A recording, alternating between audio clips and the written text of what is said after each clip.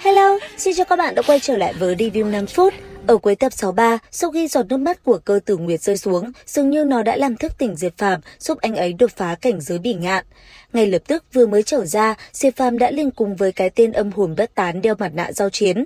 Lúc này, Diệp Phạm cầm lên, chiến giáp bao phủ toàn thân. Ngay sau đó, bàn tay khẽ động, anh ấy liền nâng tòa tháp kia lên, sau đó cầm nó xoay tròn rồi đá thẳng nó về phía đối thủ. Thế nhưng rất nhanh, tên kia đã liền điều khiển tòa tháp kia quay một vòng rồi lập tức phóng thẳng về phía Diệp Phàm. Thế vậy, Diệp Phàm liền hút lấy một cái chuông dỉ xét gần đó, một tay liền ném thẳng về phía tòa tháp kia cùng nó va chạm.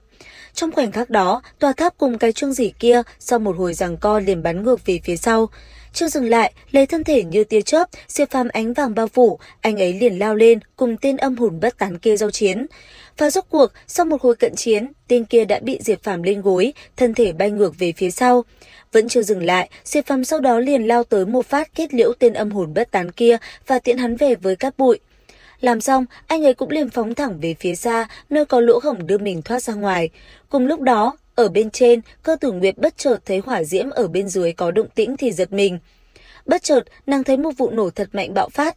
Sau đó từ trong vụ nổ kia, thân hình Diệp Phàm với cơ bắp cuồn cuộn cũng liền hiện ra và đứng sừng sững trước mắt nàng. Tuy nhiên, gương mặt lúc này đã lấm lên một mảng lớn. Phía xa, chứng kiến sự trở lại của Diệp Phàm, sắc mặt Hoa Vân Phi cũng xám xịt, hắn ta phần vì kinh ngạc, phần vì tình cảm với cơ tử Nguyệt. Còn nữ nhân kia, thấy Diệp Phàm trước mắt, nàng vui sướng, đang định chạy tới xem cơ bắp thì đột nhiên, nơi đây rung động, mặt đất dần xuất hiện những vết nứt, đất đá nơi đây bắt đầu đổ ập xuống. Thấy vậy, hai người Diệp Phàm rất nhanh rời đi khỏi nơi này. Tuy nhiên, Vân Phi thì vẫn đứng ở đó một lát mới tỉnh táo lại rồi rời đi. Còn đôi chim non kia, vừa ra bên ngoài, cả hai đã tiểu tít với nhau, nhìn thấy Diệp Phàm có thể sống và thoát khỏi đây, cơ tử Nguyệt vô cùng vui sướng, nàng nhảy lên tự như một đứa trẻ.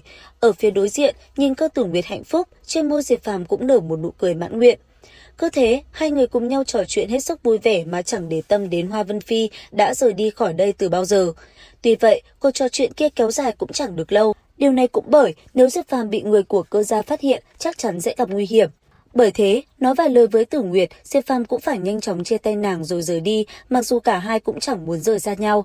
Thời gian qua đi không lâu sau, Hoa Vân Phi đã trở về nơi ở của mình. Vẫn như xưa, hắn lại ngồi bên bờ suối và đàn vài khúc nhạc. Tuy vậy, lần này trở về, tâm tình hắn đã không còn tĩnh lặng như trước. Đang đàn, bàn tay hắn ta đột nhiên đập mạnh xuống, sắp mặt thập phần tức giận.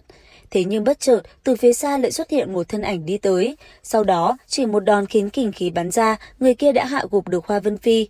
Cứ thế, Hoa Vân Phi ôm ngực rồi ngã xuống không một chút dễ dụa, không biết tình trạng lúc này như thế nào. Cũng trong lúc đó, ở tại một nơi khác, Siêu Phàm lúc này đã tới một ngôi làng nhỏ, trên đầu đội một chiếc nón, râu ria sùm xoàm. Thế nhưng đang đứng, Siêu Phàm lại bất chợt bị một người phía sau kéo lại. Thế vậy, Siêu Phàm liền quay đầu. Sau đó, bị người kia làm khó, Siêu Phàm liền động thủ. Nhất thời, một cuộc chiến nhỏ cũng liền diễn ra. Lấy thân hình như tia chớp xoay chuyển, chỉ trong thoáng chốc, Siêu Phàm đã liên tiếp tung quyền vào người những tên kia.